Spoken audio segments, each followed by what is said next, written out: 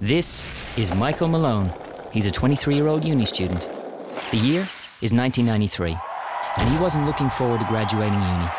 But not for any of the normal reasons, like worrying about getting a job, but because he knew he would lose access to his uni's internet connection. 1993 was a very different time.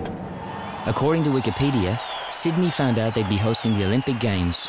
You could only watch Blu rays at the aquarium, and Wikipedia wasn't even a thing. In fact, the internet as we know it hmm. didn't exist. But this wasn't hmm. good enough for Michael. He knew the internet was too good to leave at uni. So he looked into upgrading his parents' phone line to an internet connection. But it was going to cost him $25,000 for dial up. After doing the maths, he realized if he could convince 200 people to upgrade with him, then he could afford the internet. Or whatever it was back then. He took a risk, his savings, his friend from uni, and a loan from his parents, and upgraded his parents' garage into an internet service provider. A few years later, Michael heard about a new technology called ADSL.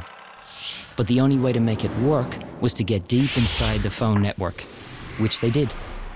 So he could bring ADSL to his mates and later to all Australians. Today, the company Michael started in his parents' garage to upgrade himself and his mates has grown so much that it's already upgraded over 1 million Australians. This is Michael Malone.